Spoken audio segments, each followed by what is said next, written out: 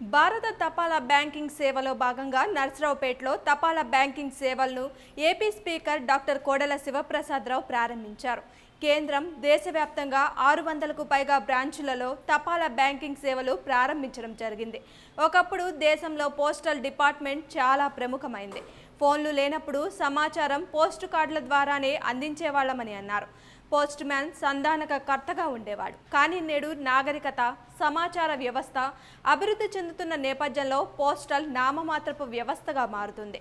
అలాంటి టైంలో ప్రభుత్వం కొన్ని ఆలోచనతో ఉపాధి హామీ లావాదేవీలు పోస్టల్ ద్వారా చేస్తుంది. అలాగే ఇప్పుడు తపాలా బ్యాంకింగ్ సేవలు ప్రారంభించడం జరుగుతుంది. విలువైన పురాతన వ్యవస్థ పోస్టల్. ఈ వ్యవస్థని కాపాడుకోవాల్సిన బాధ్యత అందరిపైన ఉందని స్పీకర్ కోడెల స్పష్టం చేశారు.